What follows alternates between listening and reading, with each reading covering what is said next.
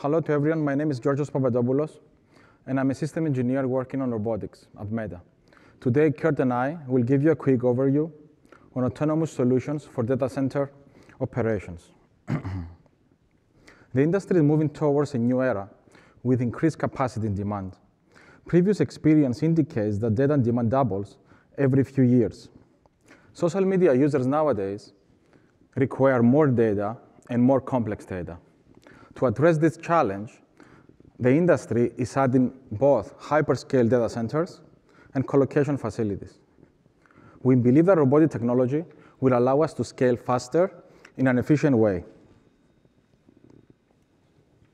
A typical day on a data center includes activities related to data center core functionalities, and also activities related to inspection, maintenance, and repair. Basically, keep the, the facility up and running. Workflows we're currently automating using robotic technology are mainly focusing into core data center functionalities. For instance, rack movement, disk displacement, and network repair activities. Next, we will focus into two main areas where we believe robotic technology can provide big impact. the first use case related is the, the first use case relates to rack movement. Data center design life is several years, several decades, whereas rack design life is several years. Therefore, it is expected to replace our racks several times during the entire life cycle of our assets. Rack replacement activities often require to unload racks from the trucks, prepare the racks on the loading docks, and then push the racks one by one from the loading docks to the data halls.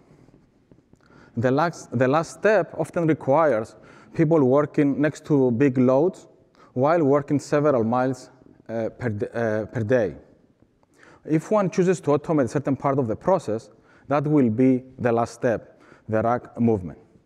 Instead of walking several miles per day, we can automate this part of the process and refocus our resources into the rack preparation, which constitutes uh, the next bottleneck and also a value-added activity. the second use case is related to meeting SOX compliance in an efficient and safe manner significant portion of our assets accumulates into racks and the equipment within. We have different type of assets. Some of them are trackable, some of them are not trackable. Some of them require logical verification and some of them require physical verification. Current processes in place require auditing teams to be traveling around in different data, data centers and different facilities to complete the auditing process. The auditing process, though, is a tedious activity that, of course, requires traveling, and at the same time, it cannot scale to meet, uh, to provide good coverage and physical verification in large number of our assets. We believe, on the other hand, that robotic technology is able to provide physical verification, which constitutes a pride form of verification for most of our assets in much higher frequency. So in summary, we get better data, more data, and without requiring traveling. this presentation focuses only into two use cases. However, the possibilities are endless. Disk displacement and this destruction activities, remote inspection activities, and repair enhancement activities, just to mention a few. We're looking forward to the industry support to join forces to first define problems worth of solving, and second, to promote development. Ideally, we need to build an ecosystem of companies around us, helping us to, uh, to address industry problems while we're committed to help them and guide them towards the development. The question is simple. Can we develop innovative solutions to enable people to be more productive and scale operations? And there are several solutions in, out, out there I think we can, we can work on rack movement and rack preparation, as we mentioned before, while handling those heavy racks. These uh, enhancements of the destruction process that will help us to boost the chain of custody while we're handling storage media. Asset scanning activities that will help us to meet SOX compliance requirements without uh, significant traveling.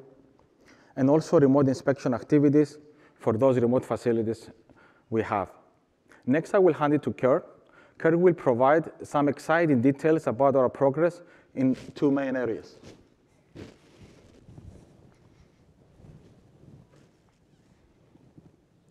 Hello, I'm Curt Meyers, and I work on robots and automation at Meta.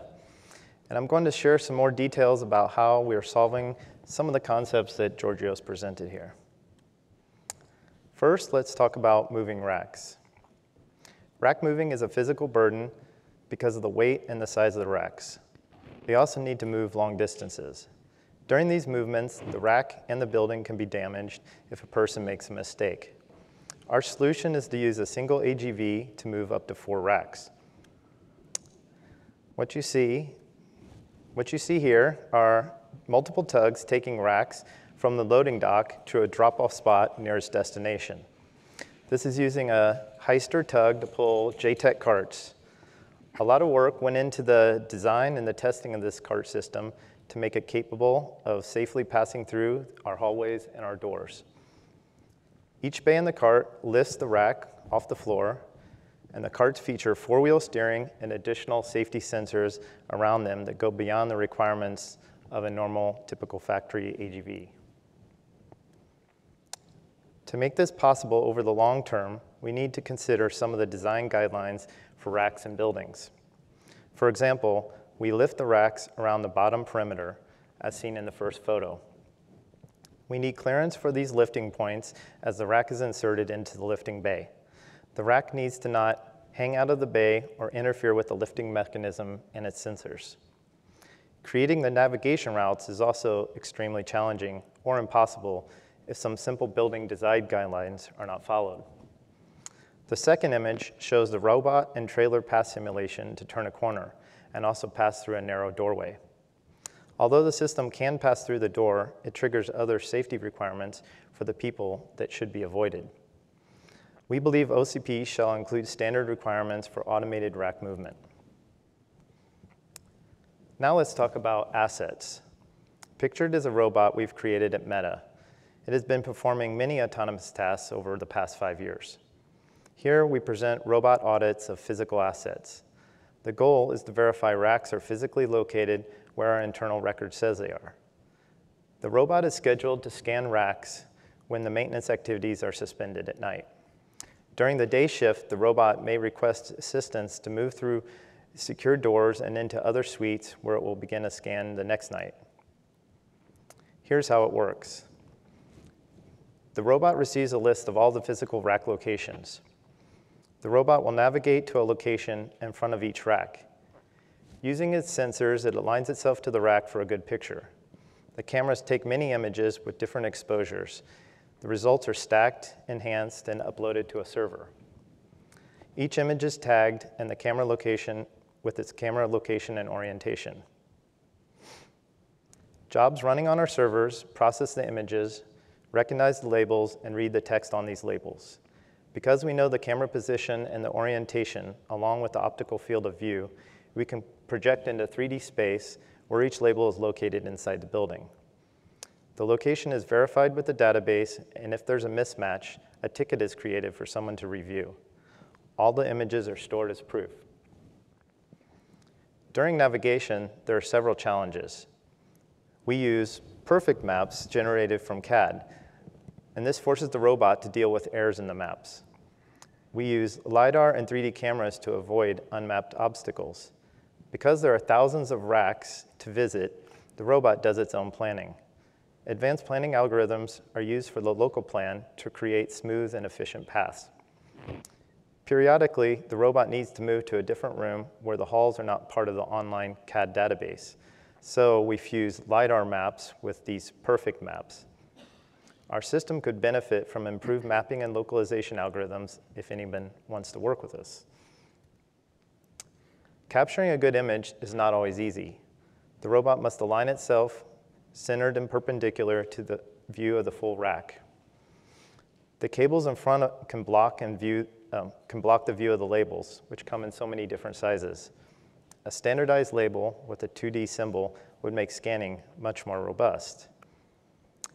However, one solution to the label occlusion problem that we've been working on is an extremely lightweight arm with a camera. The camera moves across the rack from top to bottom, taking pictures at various angles. This allows us to find more labels and get closer to each label for better resolution. The camera can also look over the top of the rack or underneath if required. I hope this gives you an idea of the types of projects we've been working on over the past year. We are looking for others working in robotics or automation that have applications in data centers. Data centers are filled with mechanical and electrical requirement or equipment to service and maintain that must operate 24/7. Let's use robotic technology to make dangerous work safer, reduce repetitive work, and prevent mistakes in record keeping. Please contact us at Meta Robotics Group through the email automation at ocproject.net. If you have questions or comments, please come and talk with us offstage. Thanks.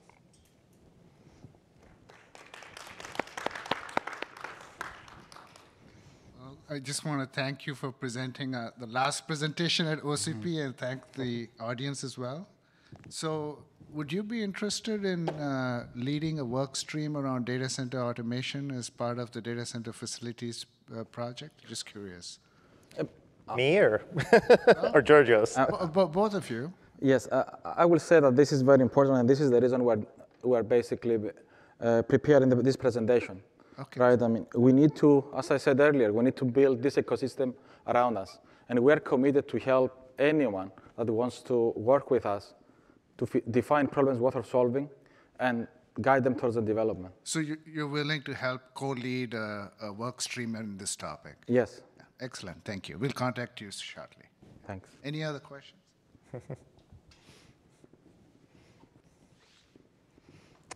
Maybe next year we'll bring a robot.